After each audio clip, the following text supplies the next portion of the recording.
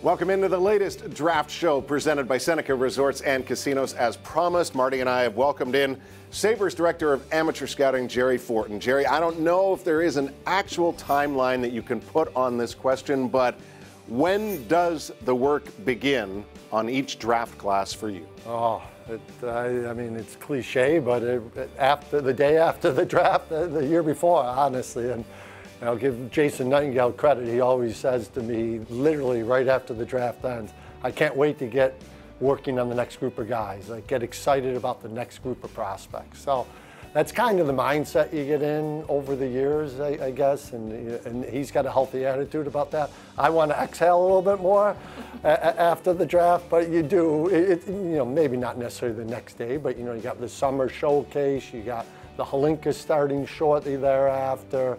Um, and, and I think we know players from the underage years better than we've ever known them in the past, too. So when you talk about the underage years, are we talking about you guys have seen them play as 15 year olds, or is that too young? Is it 16, maybe the sweet years that you, you start keeping track of them? I, I think 16. I think the year when you're starting to see them in the underage year playing against the draft, with and against the draft eligible players. That's when you know, and even that year, it's fun, in the Hlinka even for that matter, how many times at the end of the season are you actually going back and saying, hey, do you remember that game in August or September? Um, it all gets blended in together. It's part of the big picture. You might have learned some lessons about the player. Uh, the progression from the beginning of the year to the end of the year is really important too. Uh, but now if you want to take that back two years, you know, some memories, the big picture stuff, but you're not going to hold too much against a player or give him too much credit for his underage year. When you go year over year, um, if each draft class had like a skill number or something to that effect, like, are, do you notice much of a difference year to year, draft class to draft class? And if so, because our audience wants to know, what is this year's draft class like? Yeah, we, we, we do see that a lot in the media. Mm-hmm and I think it's much more subtle than um, what you hear about publicly. Yes, it's a strong draft. It's definitely an above average draft. We won't know that for sure for many years. Um, and you know, people do like to say a lot of times um, the public and the scouts' opinion on whether a class is strong or not is so heavily weighted because of the top five or ten players in the draft. So if, if if I'm looking at whether a draft is uh, deep or not or strong, I'm looking at how far down in the first round can you go and still get a really good player. Um, not so much are the top three elite and not trying to figure out is it strong in the third or fourth round. Like, can you get to the end of the first? Can you get to the early second? Can you get to the mid second and think that you're still really confident you're getting a solid NHL player. Over the years, we do see a lot of drop off, at least in the Lennon now, right when you're living through the, at that, you know, 35 to 45 range in the second round.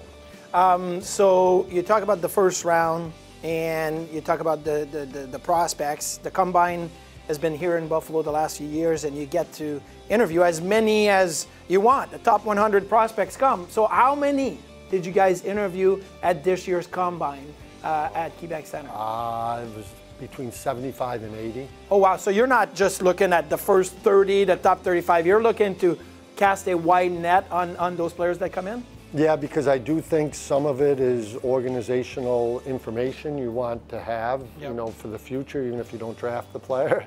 And then I'm the one that goes through, you know, every organization has one person responsible for um, both uh, put, uh, proposing names to go into the database for the combine, but then also who you're going to interview. And it, it gets really hard for me when you're following these players all year to not want to interview them as much as it gets exhausting. And, you know, it's, um, you do want to give some players a break too that you know are going to have 25, 30 interviews if you realistically don't think you have any chance of drafting the player. Uh, but it's, it's hard, yeah, they, they're long days. Um, but uh, you know, I think it's it's you can't put too much weight into the information, but there's always something you get out of each interview. I think.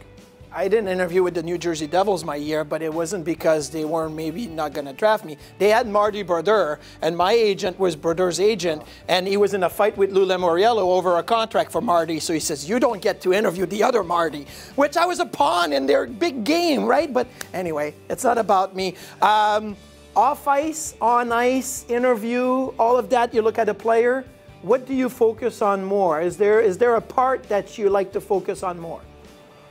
Oh, no, it's um, that would almost be impossible to do. Um, you know, on ice, and we've talked about this a lot. You know, with the organizational philosophy and you know putting a preference in, in certain areas. You know, Kevin's been great on, on steering us, but then also not interfering yeah. um, too much during the course of the process.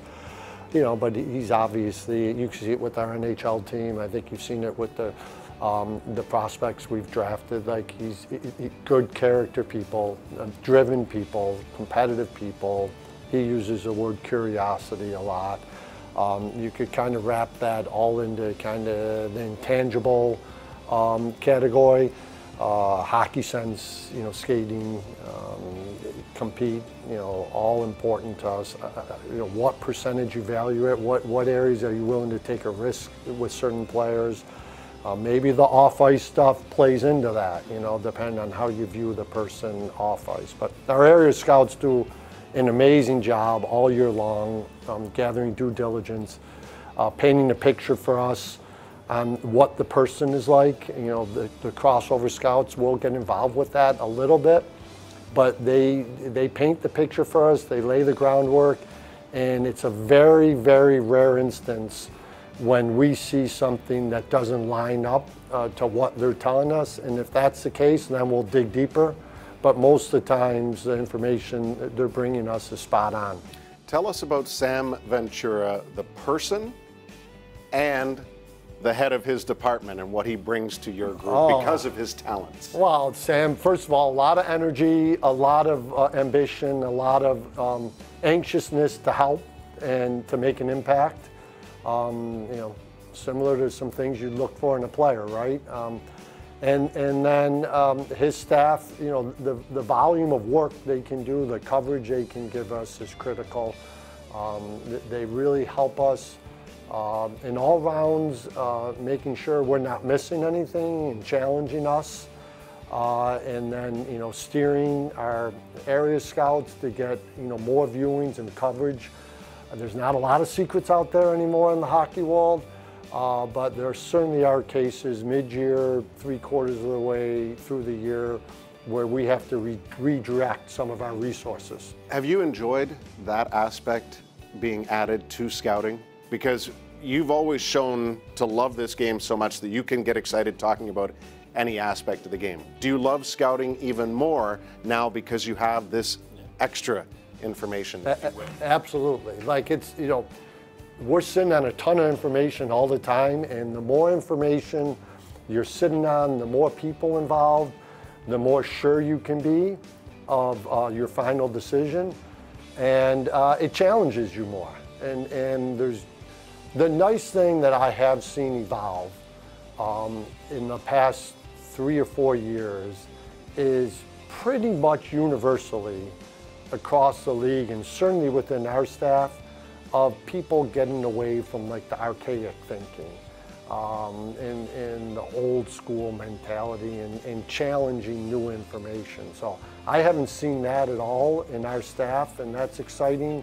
And the fact that you're blending all of this together is, um, you know, it's, it's part of the fun. You know, Kevin talks about that too. Like it's a, it's a really fun process uh, to go through the draft. Is there an organizational approach, you know, regarding positional needs when you, when you come into a draft? I would say 99% no. Uh, we, we almost never talk about that, and to the contrary, uh, we almost always make a point of saying, don't do that. Um, you make a mistake, and, and, you know, Kevin Devine would tell you this for sure over the years if you start letting that leak into your head too much, you're going to force a view of a player that probably isn't the accurate view of the player. Um, and you might make a mistake. Now, is it in people's heads sometimes? You know, okay, we've, we haven't drafted as many D as forwards.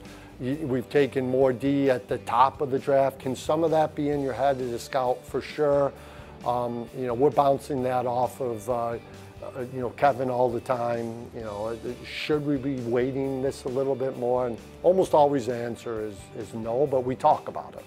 Um, I do this thing on the show that is this or that, like a either or, right? So, um, great shot or great skater, this or that. Which one do you prefer? Boy, that is that is really tough because um, we've drafted some players recently that have both, I think, Yeah. and that's really exciting. Uh, I'm going to go great skater because I think when you're a great skater, um, it's, it's very hard to get to be a great skater as you go through your NHL career if you weren't a great skater to start. But I have seen guys drastically improve their shots over the years. I don't see them drastically improve their skating that much. So give me the great skater, and I'm going to assume he's going to make the shot better. He's gonna get closer to the net, take a better shot. Playmaker or goal scorer? Oh, jeez, tough ones. I, I'm going to go playmaker on that. For, you know, almo- Hockey IQ? Hockey IQ, and again, you know, um, so many times those guys do have the, the fallback game where they can score and finish when they want to. They're almost electing to be pass first guys. Uh, um, but, but- and and it, it's, it tends to be an indication of hockey sense. And my last one, and you don't look at my notes, Okay. you know, don't backhand toe drag over here. I'm the one that's cheating. Um, goalies, are they weird or normal? Be careful what you say. Goalies, weird or normal? This or that? Oh, they're definitely Not normal. weird, definitely weird, and hopefully most cases in a good way, because they bring you know a, a certain level of uh, you know character and entertainment to your locker room. Every once in a while, they're weird where it's negative, but I could say that about any position, I guess.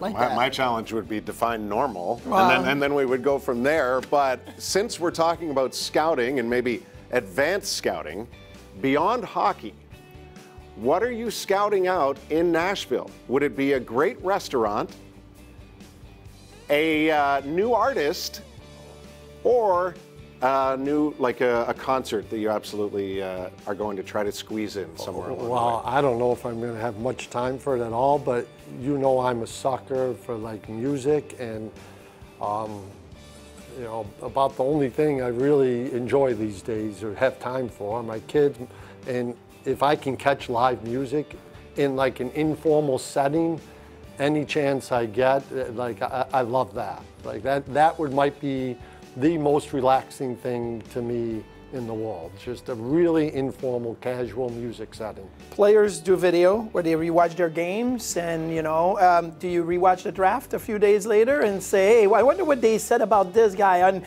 and what surprised them that I knew exactly was going to go that way." Uh, I don't think I've ever rewatched, but I, I, there, there was one year where like NHL Network the next day Yeah. was replaying the draft. And I think, you know, like I, I listened to the commentators and uh, maybe for like two or three rounds, you know, then I got bored. Because it was, all, it was, it Try was, hosting it it. was It's over. not exciting the next day when you know all the picks. It's to have the picks that's exciting. Yeah. Jerry, amazing insight. It comes from just an incredible place of passion for you. Your heart for this is, you know, is always on display. It's been 10 years in a lot of different roles, and uh, and fair to say that it seems like you're you're truly embracing this current role. I, I think I'm in the perfect spot for what I was meant to do, and I do think it's all the different, you know, roles I've had, both with the Sabres and, and coming into this organization before, that has, you know, allowed me to enjoy it as much as I do. And we have a great staff. Like, I love all the guys I work with. Um, all year long, we have a lot of fun with it together. We challenge each other, but we have a lot of fun with it. And, you know, I'm, I'm thankful for all of it, really. As I said before, I, I never feel like I'm ever going to work. So. Jerry Forton, Sabres Director of Amateur Scouting, thanks for being with us on this installment of the Draft Show presented by Seneca Resorts and Casinos.